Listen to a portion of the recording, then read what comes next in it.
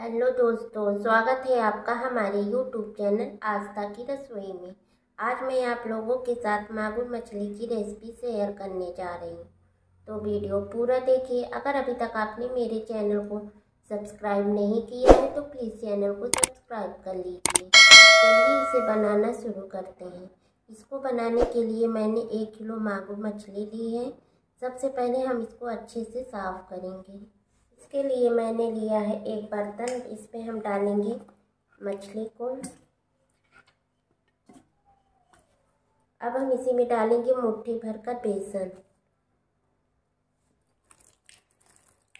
सारी मछलियों में बेसन को लगाकर इसको अच्छे से रगड़ेंगे।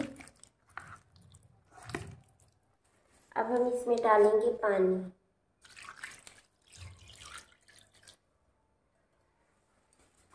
पानी डालकर इसको हम अच्छे से साफ़ करेंगे।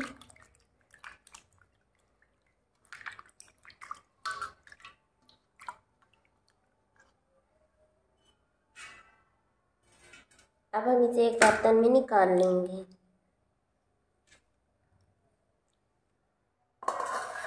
अब हम फिर से मछली को डालेंगे और इसे अच्छे से साफ़ करेंगे। लगभग दो से तीन बार हम इसको अच्छे से धोकर साफ़ करेंगे। मछली को मैंने अच्छे से धोकर साफ़ कर लिया है। इसकी महक भी अच्छे से निकल चुकी है। अब हम इसे बनाना शुरू करेंगे। बनाने से पहले हम इसकी सामग्री को तैयार कर लेते हैं। एक किलो मांगूर के लिए मैंने लिया है एक बड़ी पोटी लहसुन, एक बड़ा टुकड़ा अदरक का, नौ से दस छोटी साइज़ की प्याज। प्याज और अदरक को हम काट लेंगे। प्याज और अदरक को मैंने काट लिया है। अब हम चलते हैं गैस चूल्हे की तरफ़। चूल्हे पर मैंने रखी है कढ़ाई। कढ़ाई में डालेंगे थोड़ा सा सरसों का तेल। तेल को अच्छे से गर्म करेंगे। तेल अच्छे से गर्म हो चुका है। अब हम इसी में लहसुन, प्याज और अदरक को डालकर हल्का सा फ्राई करेंगे। प्याज हमारी हल्की सॉफ्ट हो चुकी है। अब हम इसे निकाल लेंगे।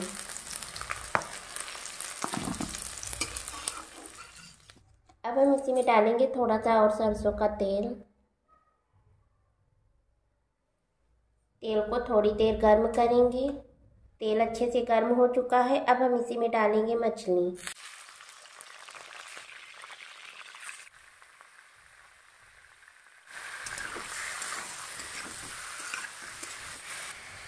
उधर मछली फ्राई हो रही है, अब हम इसे ठंडा होने के बाद पीस लेंगे। मछली हमारी अच्छे से फ्राई हो चुकी है, अब हम इसे निकाल लेंगे। मछली फ्राई हो चुकी है, अब हम फिर से डालेंगे सरसों का तेल। एक किलो मछली के लिए लगभग सौ ग्राम सरसों का तेल हम डालेंगे। तेल को अच्छे से गर्म करेंगे। तेल अच्छे से गर्म हो चुका है। अब हम इसी में डालेंगे थोड़ा सा खड़ा गरम मसाला।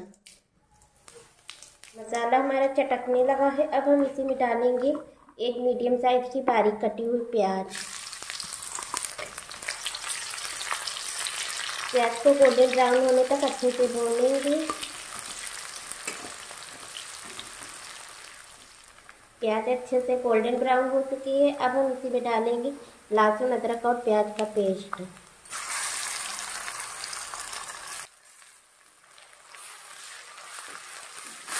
डालकर हम अच्छे से चलाएँगे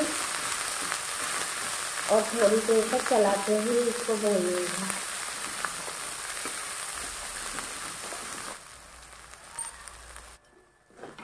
लहसुन प्याज और अदरक अच्छे से भून चुका है। अब हम इसमें कुछ सूखे मसाले ऐड करेंगे। इसमें हम डालेंगे एक चम्मच हल्दी पाउडर, आधी चम्मच लाल मिर्च पाउडर, दो चम्मच धनिया पाउडर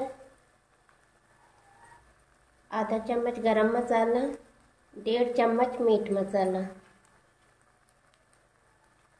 सारे मसालों को डालने के बाद अब हम इसमें थोड़ा सा पानी डालेंगे। ताकि मसाले हमारे अच्छे से भुन जाएँ।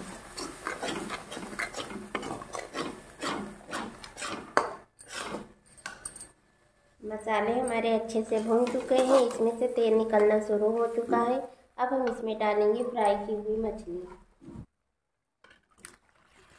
मछली को डालकर इसको हम अच्छे से चलाएँगे और थोड़ी देर तक इसको भूनेंगे।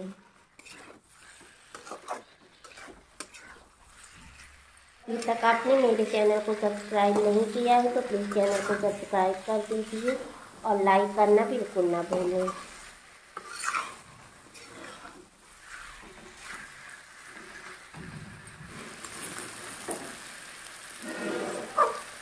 मछली अच्छे से भून चुकी है। अब हम इसमें डालेंगे पानी।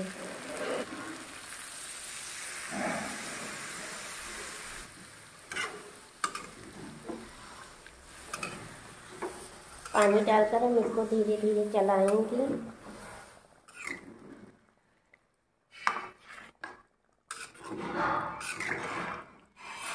थोड़ा सा पानी इसमें और ऐड करेंगे।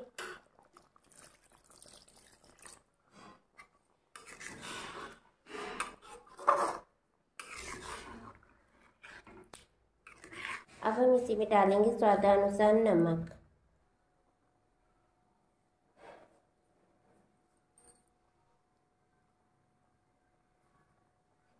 नमक डालकर इसको अच्छे से मिलाएँगे।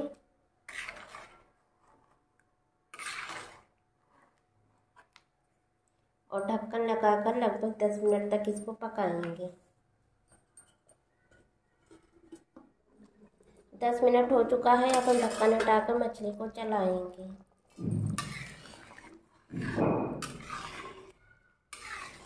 मछली अच्छे से पक चुकी है, इसकी ग्रेवी भी अच्छे से गाढ़ी हो चुकी है। अब हम इसी में डालेंगे हरा धनिया। मागुर मछली बनाने का या मेरा यह तरीका आपको कैसा लगा, कमेंट में मुझे ज़रूर बताइएगा। मिलते हैं ऐसे ही नई मज़ेदार रेसिपी के साथ। तब तक के लिए बाय बाय